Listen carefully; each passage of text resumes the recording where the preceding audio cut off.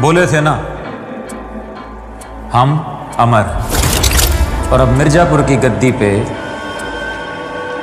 यहीं से बैठ के राज होगा। भौकाल भी बड़ा होगा और पर्दा भी। मिर्जापुर द फ़िल्म का जारी हुआ ढांसू टीजर, गुड्डू पंडित मुन्ना भैया का। फिर दिखा स्वैग। दरअसल, मिर्जापुर द फ़िल्म को लेकर ऑफिशियल ऐलान किया गया है और इसकी पहली झलक भी दिखाई गई है। एक्सल मूवीज़ की ओर से फ़िल्म का टीजर सोशल मीडिया पर शेयर किया गया है। इसमें कालीन भैया, गुड्डू पंडित और मुन्ना भैया का ज़बरदस्त भौकाल देखने के लिए मिल रहा है। इसमें सबसे पहले पंकज त्रिपाठी कालीन भैया के रोल में दिख रहे हैं, जो गद्दी के महत्व, सम्मान और पावर की बात करते हैं। फिर अली फजल गुड्डू पंडित के रोल में आते हैं और कहते हैं, रिस्क लेना हमारी यूएसपी है।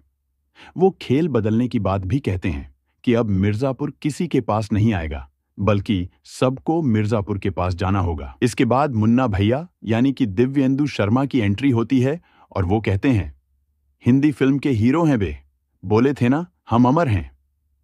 फिर अंत में अभिषेक बनर्जी, यानी कि मिर्जापुर के कंपाउंडर की एंट्री होती है। ये सभी अपने अपने किरदार में कमाल के लग रहे हैं। ऐसे में वेब सीरीज़ के बाद फ़िल्म में एक बार फिर से इन सभी किरदारों को देखना दिलचस्प होने वाला है। फ़िल्म मिर्जापुर द फ़िल्म का टीजर शेयर करने के साथ ही कैप्शन भी लिखा गया है। अब भौकाल भी बड़ा होगा और पर्दा भी। मिर्जापुर द फ़िल्म जल्द आ रही है। फ़िल्म की पहली झलक सामने आने के बाद फैंस काफ़ी एक्साइटेड हो गए हैं और जमकर रिएक्शन दे रहे हैं। वो इसकी रिलीज़ और ट्रेलर का इंतज़ार करने लगे हैं।